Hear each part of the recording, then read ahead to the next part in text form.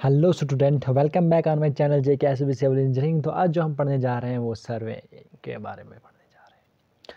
तो सर्वेइंग क्या होता है भाई? सर्वेइंग होता है determining of relative position on the surface of earth और below the surface of the और above the surface of the earth तो इसके लिए मैंने आपको बताया अगर ये अर्थ की एक सरफेस है तो इसको मैं रेफरेंस पॉइंट या डेटम पॉइंट लेता हूँ। अब इस डाटम पॉइंट से किस पोजीशन पे कोई पॉइंट है? मान लो ये एक पॉइंट है, इस पॉइंट को वन नाम देता हूँ, ये कितने पोज किस पोजीशन पे है?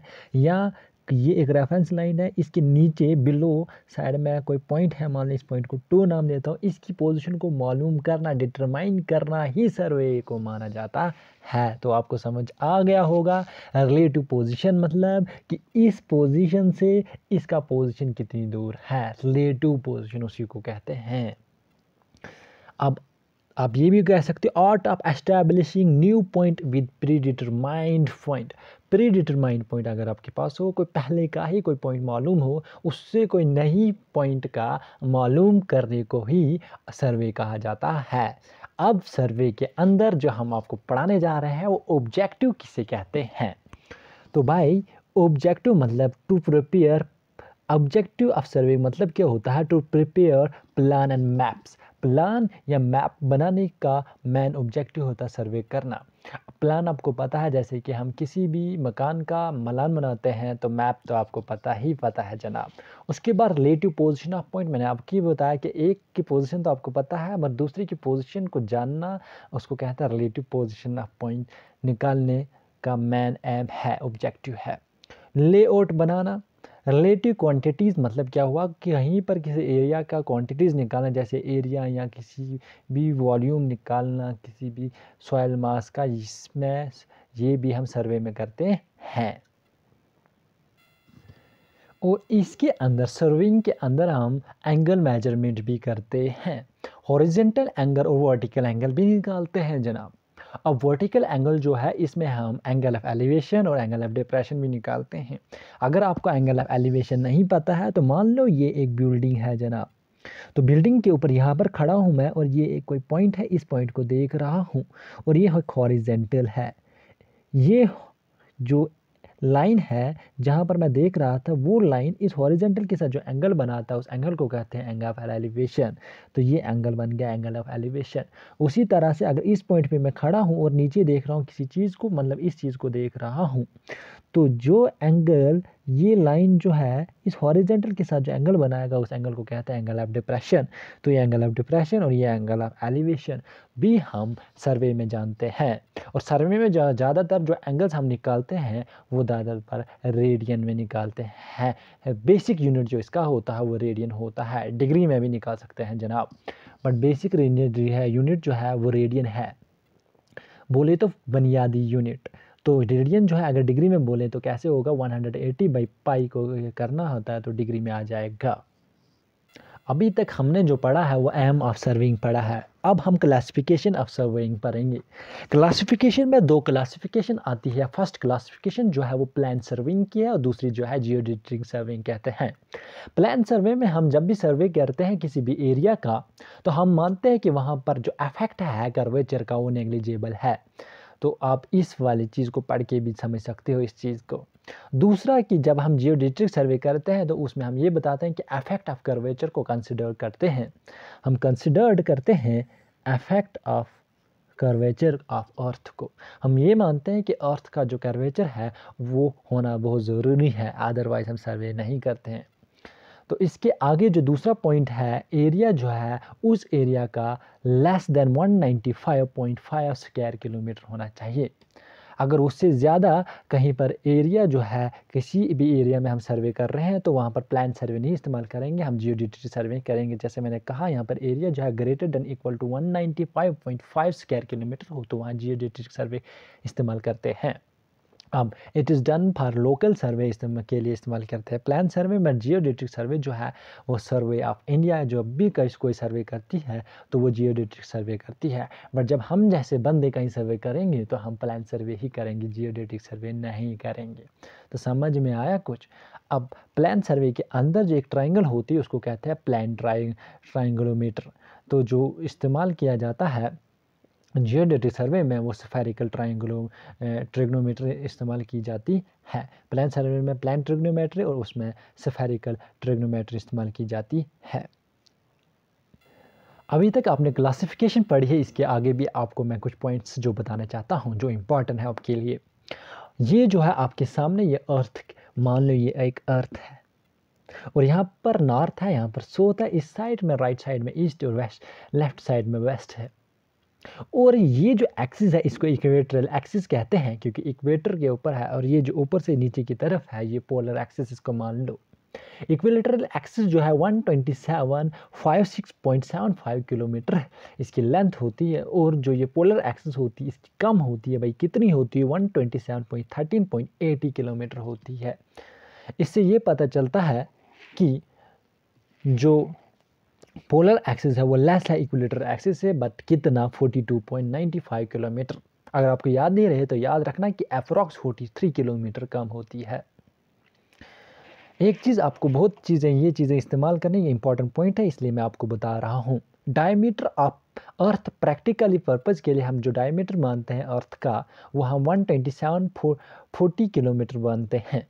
क्यों? क्योंकि इक्विलेटर से देखा जाए तो वो ज़्यादा है, अगर हम देखा जाए पोलर से तो ज़्यादा, इसीलिए डायमीटर जो है one twenty seven forty kilometre लिया जाता है तो रेडियस उसका ऑफ़ होगा सिक्सटी थ्री सेवेंटी किलोमीटर। बोले तो sixty three hundred seventy kilometre. अब इसके आगे जो मैं है, आपके कंसेप्ट बोलना चाहता हूँ पोलर एक्सिस जो लेस देन है रेगुलेटर एक्सिस ये तो आपने समझ लिया बट इलिप्टिसिटी इलिप्टिसिटी आपने नहीं पढ़ा। ये इलेक्ट्रिसिटी क्या होता है कि अर्थ हमारी कितनी इलेक्ट्रिसिटी उसको है कितनी परसेंट इलेक्ट्रिसिटी उसके अंदर है, वो जानने के लिए आपके एक फॉर्मूला है B minus A upon B B जो है वो इक्वेटरल एक्सिस है और ए जो है वो पोलर एक्सिस है। बी ये वाली इक्वेटरल एक्सिस है ए ये वाली पोलर एक्सिस है। तो b माइनस ए जो है वो 42.92 होगा और नीचे भी हमने एगुलेटर एक्सेस ही डाली है तो ये आ गया अप्रोक्स परसेंट तो इलेक्ट्रिसिटी जो है वो तकरीबन परसेंट है। अब आप समझ गए होंगे पोलर एक्सेस जो है एगुलेटर एक्सेस से 42.95 किलोमीटर और इलेक्ट्रिसिटी जो है पॉइंट थर्टी फोर परसेंट है।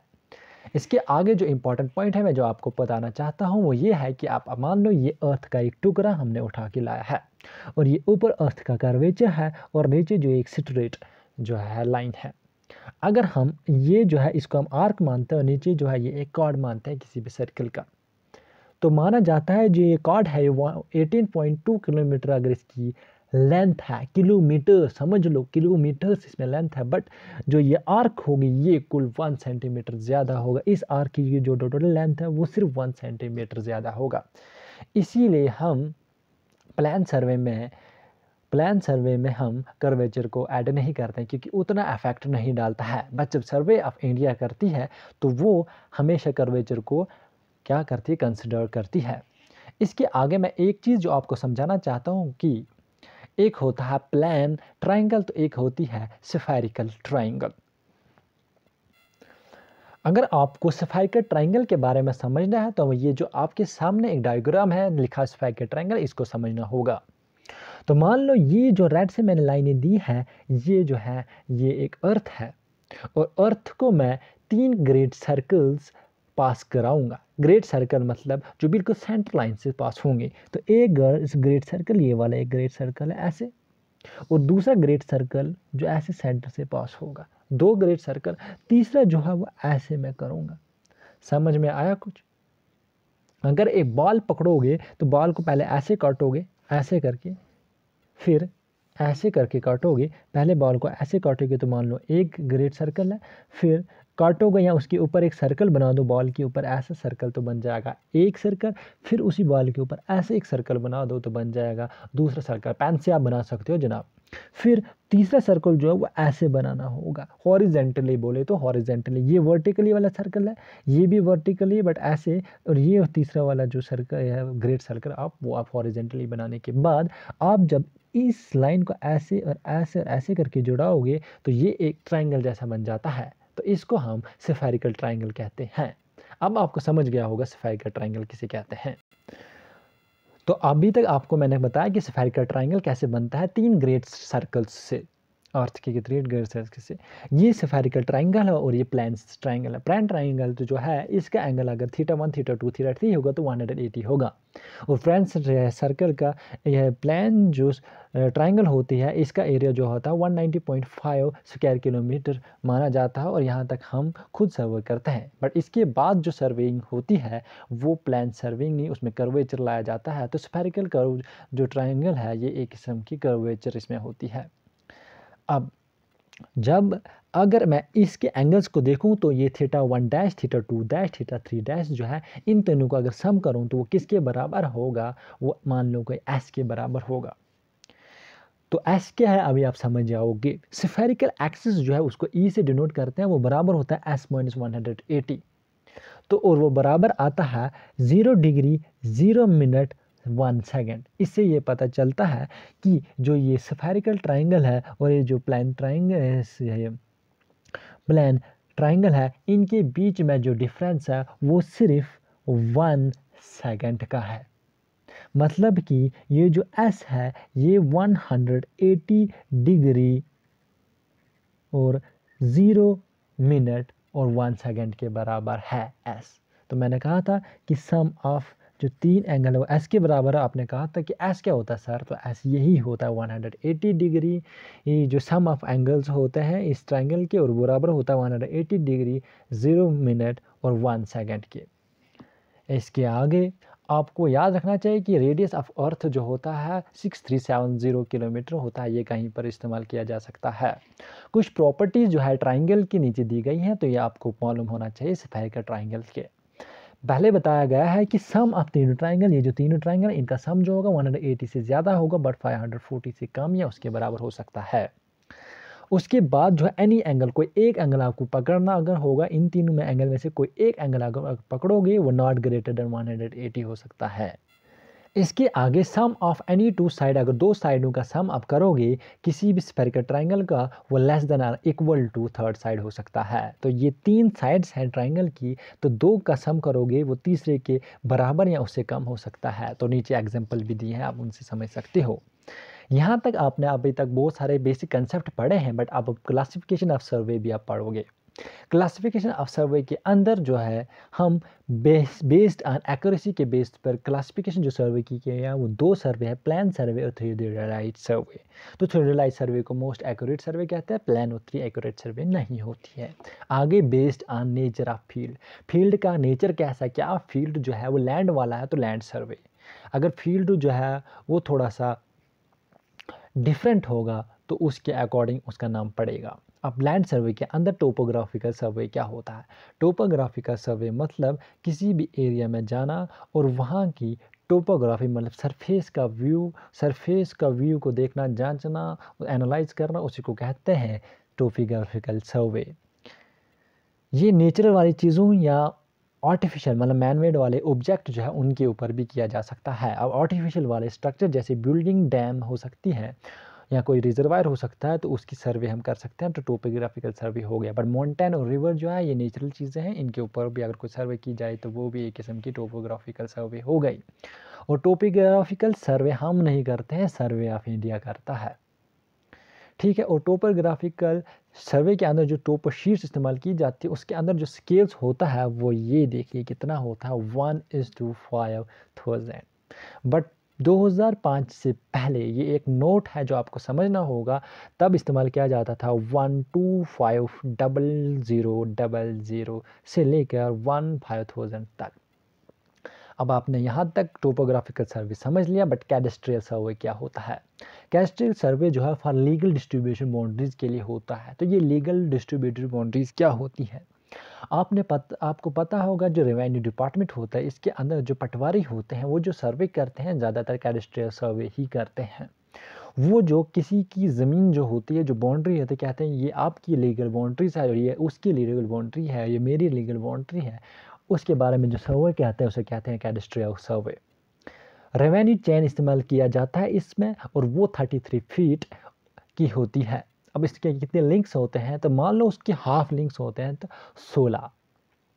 बत्तीस का होता है हाफ़ हाफ़ कितना? बत्तीस का हाफ़ होता है सोलह बट मान लो अगर आपको याद नहीं होगा तो थर्टी थ्री का हाफ़ थोड़ा बहुत कर लो तो सोलह जो है वो आएगा नहीं बट सोलह लिंक्स इसके होते हैं। एक याद करने की ट्रिक बताई थी मैंने। तो एस्टैब्लिश्ड बाउंड्री ऑफ़ प्रॉपर्टीज़ आपने समझ लिया होगा। अब सिटी सर्वे क्यों की जाती है? किसी भी सिटी में इसलिए की जाती है क्योंकि उस सिटी में अगर आपने कंस्ट्रक्शन ऑफ़ सीवर्स लाइन लगानी होगी या पाइप लगानी होगी तो सिटी सर्वे करते हैं। भाई, यहाँ तक आपने टोपोग्राफिकल के तीनों सर्वे देख तीनों सर्वे आपने लैंड सर्वे के तीनों यह चीज़ें पढ़ी है, टोपोग्राफिकल, कैडेस्ट्रियल और सिटी सर्वे। बट अब एस्ट्रोमिकल सर्वे हम पढ़ेंगे। एस्ट्रोमिकल सर्वे के अंदर क्या हम पढ़ते हैं कि जो अर्थ सरफेस के ऊपर किसी भी पॉइंट की पोजीशन जो है, उसको मालूम करना ही एस्ट्रोमिकल सर्वे के अंदर आता है। इसके अंदर हम लैटिट्यूड और लैटिट्यूड की लॉन्गिट्यूड के बारे में पढ़ते हैं। जो लॉन्गिट्यूड किसी स्टेट के से निकलती है तो उसके बारे में हम पढ़ते हैं। ये हम उतना नहीं करते। अब हाइड्रोग्राफिकल मराइन सर्वे जो है, इसको मैथमेट्रिक सर्वे बहुत इंपॉर्टेंट सर्वे है, इसको कभी कभी सोनिंग सर्वे भी कहते हैं। तो हाइड्रोग्राफिकल मराइन सर्वे क्यों कहते हैं? जो सर्वे है, इसमें दो टाइप इसमें ज़्यादातर इसलिए ये करते हैं ये सर्वे क्योंकि आपको किसी भी वाटर बॉडीज़ की क्या निकालना है, उसकी डेप्थ निकालनी है। तो रिवर का अगर हमने डेप्थ मालूम करनी है तो एक इंस्ट्रूमेंट इस्तेमाल आता है इसमें, जिसको कहते हैं वेल्डिंग सोंडिंग मशीन उससे हम रिवर की शेलो डेप्थ को मालूम करते हैं, क्योंकि आपको पता है रिवर उतना डेप्थ उसकी नहीं होती शेलो ही उसकी डेप्थ होती है। डेप्थ मतलब हाइट कितनी है, वो कितना गहरा है जनाब। बट अगर हम समंदर में जाएँ तो उसकी डेप्थ बहुत ज़्यादा होती है। आपको पता है पैसिफिक ओशन जो, वहाँ पर एक मराइन ट्रंच है, वो दुनिया का सबसे बड़ा ट्रंच गहरा ट्रंच है। तो उसका अगर हमने उसकी डेप्थ को मालूम करना है तो वो हम वेल्डिंग साउंडिंग मशीन से नहीं, बल्कि फैंटोमीटर से इस्तेमाल करते हैं। तो हाई डेप्थ मालूम करने जैसे समंदर के अंदर फैंटोमीटर इस्तेमाल किया जाता है। अब जो हाइड्रोग्राफिकल सर्वे है, इसके अंदर क्या सिर्फ़ हम डेप्थ ही मालूम करते हैं? नहीं, हम वहाँ की वेलोसिटी भी मालूम करते हैं कि किसी भी वाटर बॉडीज़ के अंदर वेलोसिटी कितनी है, ये भी मालूम करते हैं। और ये किससे किया जाता है? इंस्ट्रूमेंट है, उसका नाम है प्राइस मीटर उससे इस्तेमाल करते हैं। अब जो है सोंडिंग सेक्सटेंट सोंडिंग सेक्सटेंट जो है एक ऐसा इंस्ट्रूमेंट है जिसमें हम किसी भी वाटर बॉडीज़ के एंगल्स को मेजर करते हैं। इसीलिए इस वाले सर्वे जो हाइड्रोग्राफिकल सर्वे को सोनिंग सर्वे भी कहते हैं। मुझे उम्मीद है आपको समझ आ गई हो। अब जो है बेस्ड ऑन एम एम के ऊपर जो सर्विंग आती है, वो है उस, वो भी डिवाइड है। जो इसमें सबसे पहला पार्ट जो होता है इंजीनियरिंग सर्वे जो हम करते हैं। इसमें हम किसी भी एरिया में जाते हैं, वो लोकेशन सर्वे लोकेशन सेट करते हैं। लोकेशन जो है वो पहले से हम चूज़ करते हैं। फिर रेनेसेंस सर्वे एक ऐसी सर्वे होती है जिसमें हम ये मालूम करते हैं कि इस एरिया में हम कौन सा वाला मेथड ऑफ़ सर्वे बाद में इस्तेमाल करेंगे, उसको रेनेसेंस सर्वे होती है। एक किस्म की ट्रैम्परी सर्वे प्रीलिमिनरी सर्वे, फिर उसके बाद उस एरिया में प्रीलिमिनरी सर्वे की जाती है। इंजीनियरिंग सर्वे हम बिल्डिंग, रोड या बिल्डिंग बनाने के लिए इस्तेमाल करते हैं। माउंटेन या रिवर के लिए हम इंजीनियरिंग सर्वे नहीं करते हैं। मिलिट्री सर्वे मिलिट्री वाले इस्तेमाल करते हैं। अपने लेआउट ऑफ़ वर्क वर्क को लेआउट कैसे करेंगे, वो इसके लिए। माइन सर्वे, आपको पता है, कहीं पर भी माइंस हैं, जैसे कान कहते हैं, कोई मिनरल निकालना कोड निकालना कुछ निकालना तो वहाँ पर जो सर्वे की जाती है, उसको माइन सर्वे कहते हैं। तो ये उसके बाद जो है जोलॉजिकल सर्वे किसी भी अर्थ के अलग स्ट्राटा को मालूम करना कि यहाँ पर है, वहाँ पर जो है जोलॉजिकल सर्वे कहते हैं। जब भी कभी कहीं टनल निकलता है तो उस टनल के लिए वहाँ पर एक जोलॉजिस्ट को बुलाया जाता है, क्योंकि वहाँ पर जोलॉजिकल सर्वे करे। एक इंजीनियर को भी बोला बुलाया जाता है बट जोलॉजिस्ट को भी बुलाया जाता है, क्योंकि वहाँ पर वो अलग अलग स्ट्राटा जो अर्थ की देखिए तो वो जांचे, फिर उसके बाद वो भी अपने तरीके से कुछ सजेशन दे। और जैसे ऑर्जोलॉजिकल सर्वे ये ज़्यादातर बंदे हम नहीं करते हैं। ये ओल्ड चीज़ें जो है, उनके बारे में जो स्ट्रक्चर है, उनके बारे में मालूम करते हैं, उनकी इंफॉर्मेशन और ये ज़्यादातर हिस्ट्री वाले बंदे करते हैं। अब जो है मोस्ट इंपॉर्टेंट जो हमारे लिए है इंस्ट्रूमेंट बेस्ड सर्वे है। तो जीपीएस सर्वे जीपीएस सर्वे जो है, इसको हम एडीएम सर्वे भी कहते हैं, और टोटल स्टेशन सर्वे भी कहते हैं, क्योंकि हम इसमें टोटल स्टेशन इस्तेमाल करते हैं। तो उसके बाद जो है चैन सर्वे चैन सर्वे में आपको पता है हॉरिजेंटल डिस्टेंस ही मेजर करते हैं और टेप सर्वे में हम हॉरिजेंटल डिस्टेंस तो मेजर कर सकते हैं वर्टिकल डिस्टेंस भी अगर आपको मेजर करना है वो भी कर सकते हैं। कंपास सर्वे ये तो आपको अहम पता है जब आप इस्तेमाल करते थे विद इन द डिप्लोमा आप कम यहाँ कहीं यहाँ डिग्री के दौरान तो कंपास सर्वे जो है हॉरिजेंटल एंगल वहाँ पर मेजर करते थे, जिसको हम बेरिंग भी कहते हैं। उसके बाद थियोडोलाइट सर्वे आपने थियोडोलाइट भी इस्तेमाल की की, की होगी ड्यूरिंग द डिप्लोमा और डिग्री तो आपको पता होगा वहाँ पर हम हॉरिजेंटल या वर्टिकल एंगल देखते थे। उसके बाद plan table surveying plan table surveying हम किसी भी ट्रांसफर्स को प्लॉट करते हैं। आप ये ज़्यादातर प्लान टेबल सर्विंग जो है हम भी करते हैं और प्लान टेबल सर्वे मैंने ज़्यादातर रेवेन्यू वाले भी देख सक करते हैं। उसके बाद टेक्योमेट्री सर्वे और टेक्योमेट्री सर्वे में इसी तरह से, जिस तरह से थियोडोलाइट में हॉरिजेंटल और वर्टिकल एंगल्स देखते हैं बट यहाँ पर जो है फॉर्मूला भी इस्तेमाल किया जाना करते हैं बाद में। और उसके बाद फोटोग्राफिकल सर्वे फोटोग्राफिकल सर्वे में एरियल सर्वे टेरेस्ट्रियल सर्वे होता है। एरियल सर्वे क्या होती है कि जहाँ पर हम जा नहीं सकते तो हम कहाँ, वहाँ पर ड्रोन या कोई हेलीकॉप्टर के थ्रू हम जाते हैं उस एरिया में, और वहाँ पर उस एरिया के फ़ोटोज़ खींचते हैं। और जो फ़ोटोज़ खींचते हैं उस एरिया का, वो कैसे होने चाहिए? तो जी, आगे देखा गया है, ये एक किस्म की फ़ोटोज़ हैं। मान लो ये एक क्लिक है फ़ोटो का और ये दूसरा क्लिक है फ़ोटो का। ये ब्लू से दिया गया है, एक क्लिक और रेड से दूसरा क्लिक है। तो ये जो है लॉन्गिट्यूटनल ऐसे लॉन्गिट्यूटनल ओवरलैप जो है sixty percent long longitudinal overlap करना चाहिए फ़ोटो। ठीक है। और जब साइड वाइज जो है, वो थर्टी परसेंट ओवरलैप करना चाहिए, ये आपके दिमाग में ज़रूरी है कि हम जब एरिया सर्वे करते हैं। मुझे उम्मीद है कि आप यहाँ तक समझ गए होंगे। Thank you very much for my for watching my video समझना बहुत ज़रूरी है।